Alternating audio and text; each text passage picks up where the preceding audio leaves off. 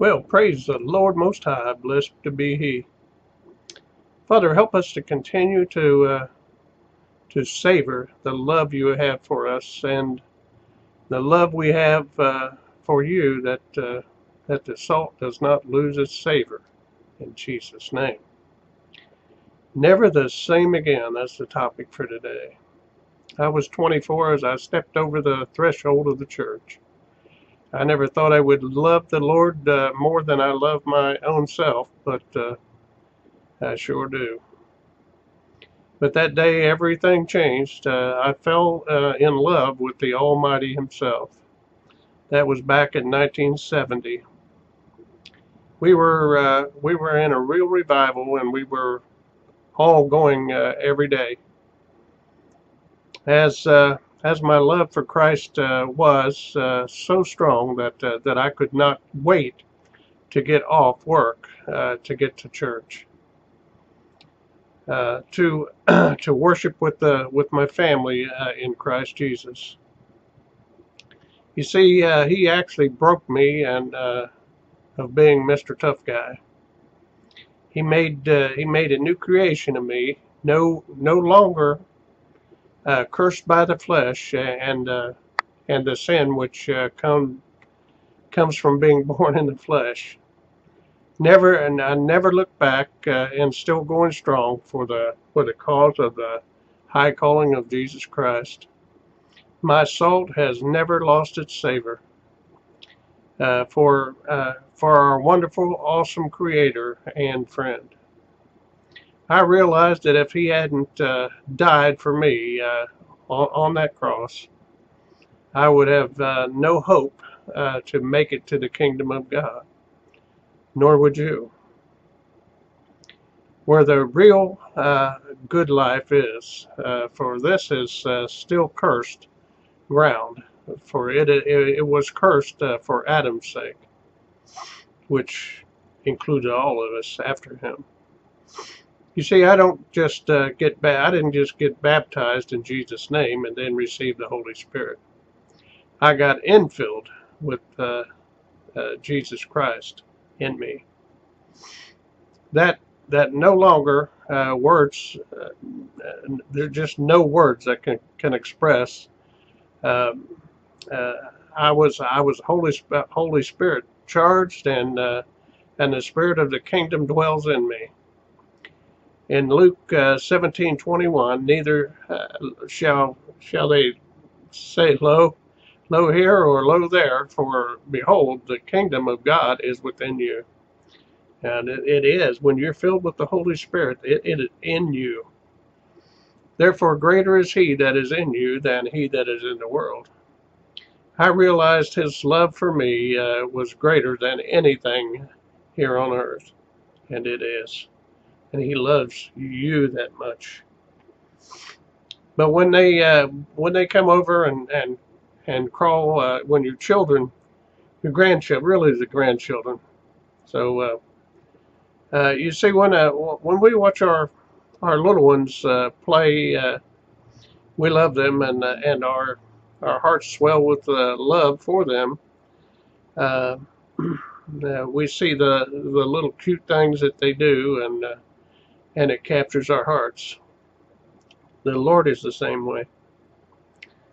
But when they uh, come over and crawl up on in in, in your lap and, and lay on your on your chest, as they just lay there uh, and say, "I love you," uh, that and just kind of melts into your chest. Uh, that that is that is the ultimate, is it not? Uh, this is uh, this is the love, and it's an innocent love of a child and it's a true love. That's what you need. It's what everyone needs. This is a this is the love the Almighty Father wants uh, wants with you. A crazy love. Uh, just like uh, when you were teenagers, how you felt just crazy in love. You couldn't wait for the other one to call or talk to them all the time. And this whole, I'm sure we had all a little, little bit different lives, but not that much uh, you wanted to hold uh, hold them and uh, not let go. While going to church, uh, do we go uh, because we want to to love the, on the Lord, or is it uh, just where our friends and family are. So I say I say that God has meshuga love for you. That is crazy love. So you need to get some of that meshuga. He already has it for you. When you truly try, uh, worship uh, the Lord, He uh, He envelops you with truer love you will never find. feel that you'll never he, he just pours it out on you. Uh, how else to put that? It just he just uh, he doesn't hold back.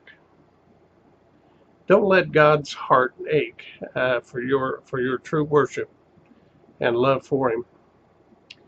For uh, for a one-sided uh, love is is a cold heart, uh, which will not make it to the kingdom. Instead, instead of sitting with Him on the on the throne as joint heirs, uh, you will be as a servant unto him.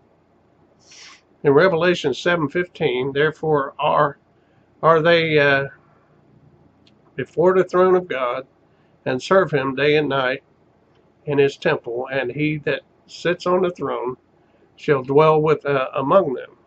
Now, I'm not saying that this is bad, okay, but you could have more if you do it now. If you come to the Lord now, now's the time. And in verse 16, they shall hunger no more, neither thirst any more, neither shall they the sun light on them, nor any heat.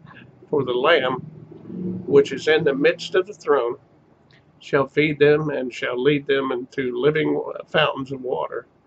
And God shall wipe away uh, all tears from their eyes.